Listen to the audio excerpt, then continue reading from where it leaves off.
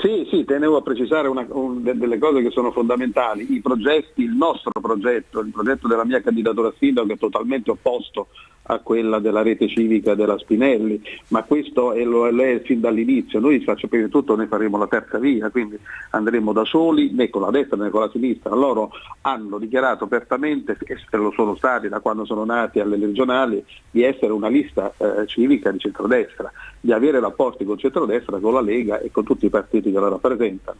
Quindi ehm, è inevitabile che loro facciano la loro strada come noi, come Rinascita Civica e io come Erbetta Mario faccia la mia con altre coalizioni, altre alleanze.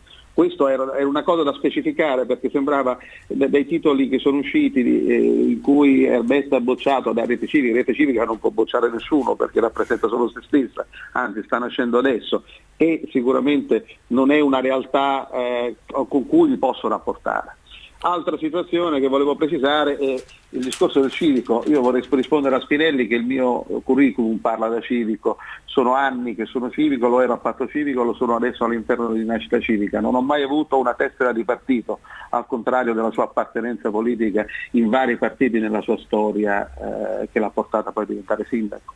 Quindi eh, sul eh, civismo, sul nostro civismo non penso che nessuno possa mai dire qualcosa di diverso di quello che è, che poi io voglia fare e sicuramente sto lavorando a un'alleanza centrista con vari partiti che siano anche l'espressione di chi non viene rappresentato in questo momento dai partiti eh, di maggioranza o di minoranza, cioè la Lega e il PD, questo è senza dubbio, ma non vuol dire che la rinascita civica perde il suo essere civico, anzi noi come abbiamo sempre fatto e come ho fatto in Consiglio Comunale, se ritengo un provvedimento giusto lo voto indipendentemente che provenga da destra o da sinistra, questo vuol dire essere civico, cioè fare il bene e cercare di fare il bene dei cittadini in sé.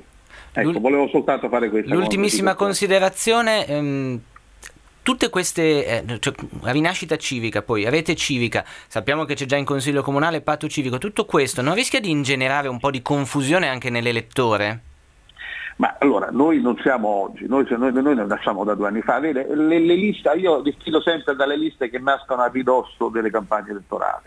Eh, la stessa Spirelli mi disse due anni fa non, non, perché presenti adesso la lista, eccetera, perché il nostro è un progetto, un progetto che va da, viene da, da, da, lontano e vuole andare lontano. Non si limita a Rimini, ma abbiamo partecipato alle elezioni in solitaria a Sant'Arcangelo, abbiamo dato una mano alle elezioni europee, alle, alle ultime nazionali e regionali, chiedo scusa, a Marcello a Forza Italia. Cioè, il, discorso no, il, discorso dell'essere del, del, civico in sé è fondamentale. Secondo me eh, Rimini ha bisogno di un sindaco civico, di un'espressione civica che in qualche modo vada fuori dalle ideologie partitiche. Sicuramente ci sono civiche, eh, come posso dire, che hanno dimostrato di essere e civiche che sono strumentali ai partiti politici di, di, di maggioranza e di minoranza. Eh.